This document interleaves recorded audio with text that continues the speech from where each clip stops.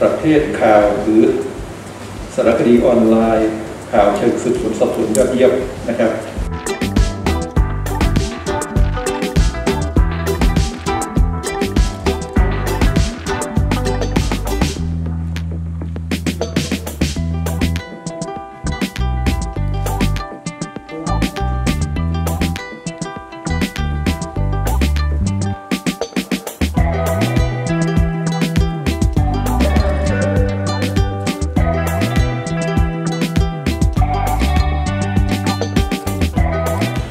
รางวัลชมเชยรางวัลแรกค่ะ